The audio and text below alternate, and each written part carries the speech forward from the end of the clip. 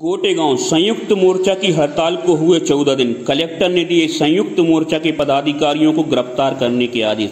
जी हाँ, जहाँ एक और प्रशासन के खिलाफ संयुक्त मोर्चा ने कल काले मटके फोड़े थे, वहीं आज कलेक्टर के द्वारा संयुक्त मोर्चा के अध्यक्षों को गिरफ़्तार करने के आदेश दिए गए और प्रशासन के द्वारा काम पर लौटने का दबाव बनाया गया, जिसका संयुक्त मोर्चा के पदाधिकारियों ने विरोध किया एवं आगे भी आंदोलनों की चेतावनी दी है।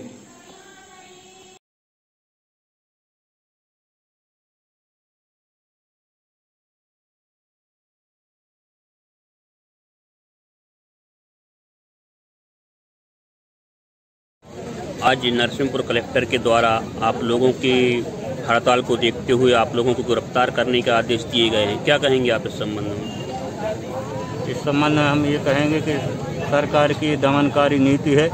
हम लोग शांतिपूर्वक 22 तारीख से धरना दिए हुए हैं और अपनी न्यायोचित मांगे जो अनार्थिक मांगे हैं उनको मनवाने के लिए बैठे हुए हैं। पर, परंतु शासन हमारी मांगों के ऊपर कोई ध्यान नहीं दे रहा। आज हमारे जीआरएस भाई हैं। इनको बेशक पाँच हज़ार रुपया वेतन मिल रहा है। दो हज़ार इनको प्रधानमंत्री आवास का मिल रहा है। दो हज़ार स्वच्छता का मिल रहा है।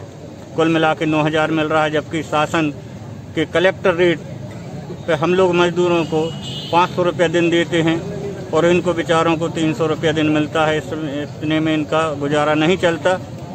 इन्हीं सब मांगों के लेकर हम लोग सरकार से शांतिपूर्वक मांग कर रहे हैं। और शासन हम लोगों की एक भी बात नहीं सुन रही और इस तरह आंदोलन को कुचलना चाहती हम लोगों की बात दबाना चाहती है कर्मचारियों के प्रति घोर अन्याय। है अगर गिरफ्तारी होती है तो फिर आगे क्या रहेगा आप लोगों का? फिर प्रदेश स्तर पर जो भी निर्णय लिया जाएगा उसके हिसाब से हम लोग आगे की रणनीति बनाएँगे और कार्य करेंगे। क्या नाम है आप आंदोलन करेंगे।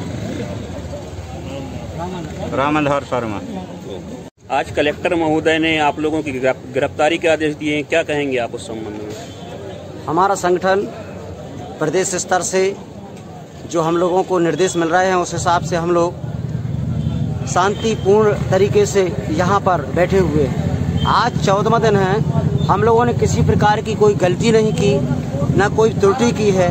हम लोग शांतिपूर्ण तरीके से हमारी मांगें शासन के सामने रख रहे हैं। और हमारे साथियों पदाधिकारियों के ऊपर अध्यक्ष सचिव संघ जीआरएस अध्यक्ष और हमारे प्रदेश महामंत्री और जिला के अध्यक्ष उनके ऊपर एफआईआर शासन ने बिना गलती के एफआईआर कर दी है। उसका हम लोग पूरा संगठन संयुक्त मोर्चा मिलके घोर विरोध करते हैं। उसकी कड़ी निंदा करते हैं हम। अगर गिरफ्तारी होती है तो आगे क्या कदम होंगे? गिरफ्तारी के लिए हम पूरे घटक जो हैं संयुक्त मोर्चा के पूरे तैयार हैं और जेल भरो आंदोलन करेंगे हम लोग। क्या नाम है आपका? राम गोपाल दीक्षित।